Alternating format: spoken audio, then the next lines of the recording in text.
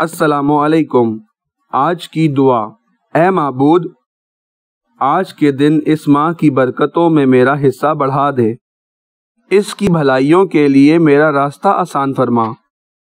और मेरी नेकियों की कबूलियत में मुझे महरूम ना फरमा।